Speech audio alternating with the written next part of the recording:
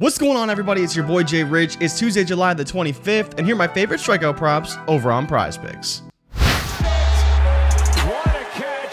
Let's start off with Kyle Gibson over four and a half versus the Philadelphia Phillies today.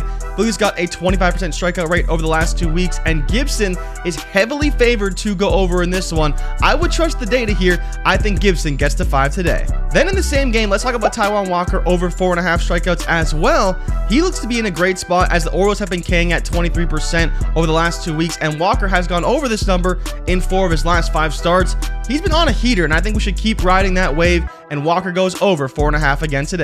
Then an under I do like is Michael Kopech under five and a half strikeouts. He hasn't hit this number in each of his last five starts. He only has a 15% K rate in the last five starts. So I think there's a pretty good shot he goes under today against the Cubs. We've only been striking out at a 22% rate over the last two weeks. Take the Kopech under five and a half.